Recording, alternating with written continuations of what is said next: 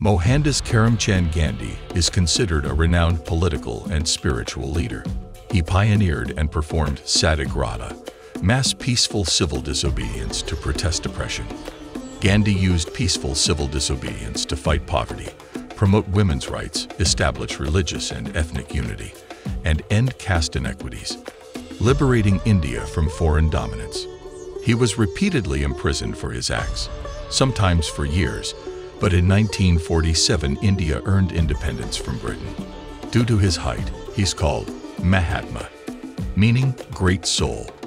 Martin Luther King Jr. and Nelson Mandela cited Gandhi as an influence in their fights for equal rights.